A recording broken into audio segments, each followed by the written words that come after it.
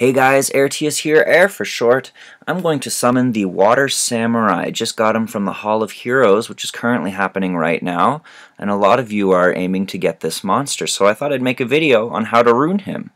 So, I'm going to summon him and talk about some runes. Here we go. Summon. Oh, there's no lightning. He is a 4-star. He deserves some lightning. Anyways, here he is, Water Samurai. He is an attack type monster, and his skills are Wield.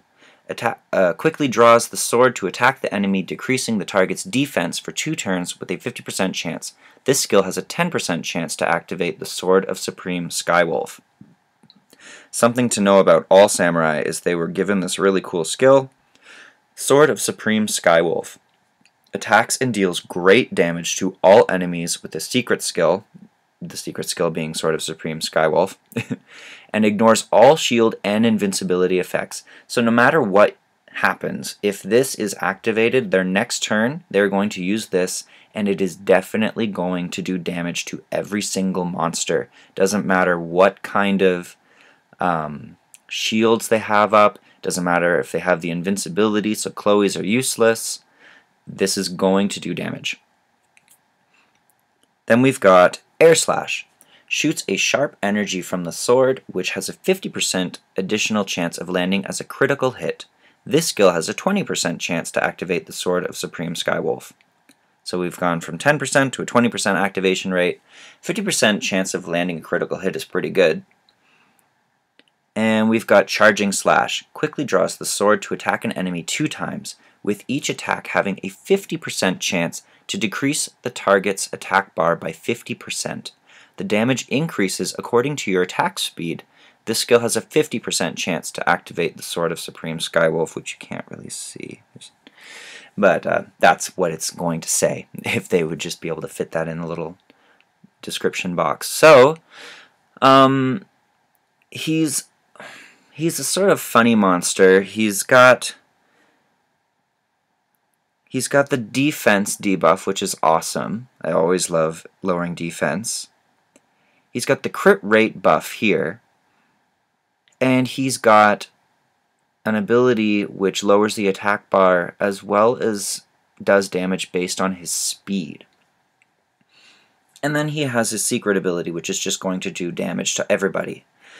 So, there's a couple ways you could rune this monster if you want him to just do a lot of damage, then do the Rage Blade combination.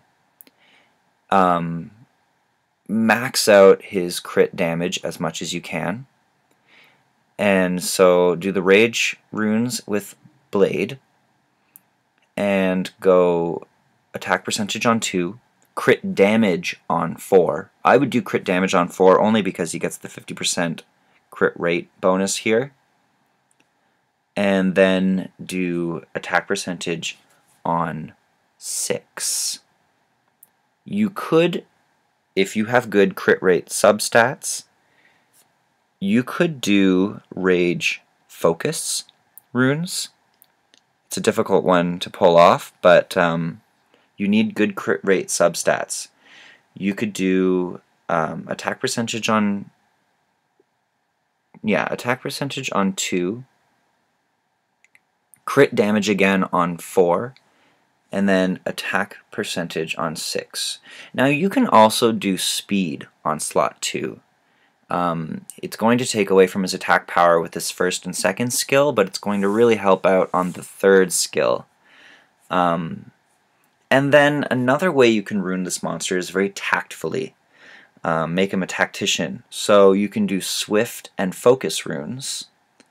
And then, you know, do speed on slot 2.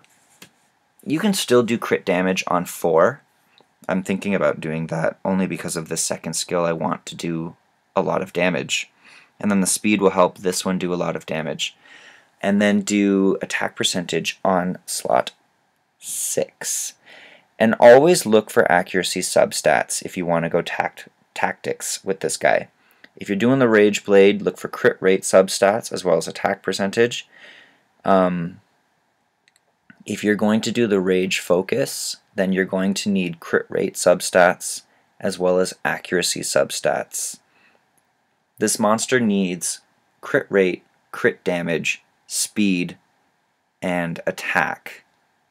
Oh, and accuracy. He's quite difficult to rune exceptionally well.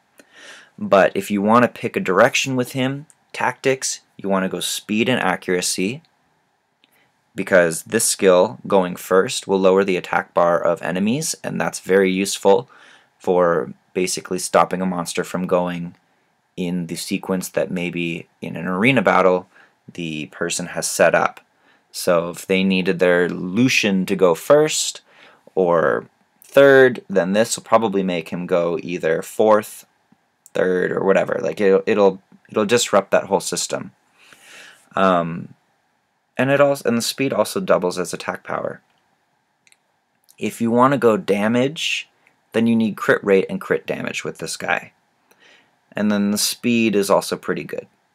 So it's kind of up to you how you want to rune him, what you really need. If you have a really good attacking water monster and you need something who's a little bit more support type, somebody who's going to maybe make it more difficult for the opposing team with debuffs and such, then I suggest the Swift Focus.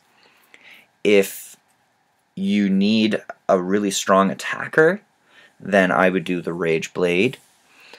Um, Otherwise, if you've got amazing runes sitting around, then I would recommend Rage runes with speed on slot 2, crit damage on 4, and attack percentage on 6 if you have great crit rate substats and accuracy substats on those runes. So hopefully this has been helpful for you and not confusing. this monster does require quite a few things and you he has quite a bit of versatility. So hopefully he works out for you guys once you get him. I know I'm going to really enjoy this guy. And till next time, peace.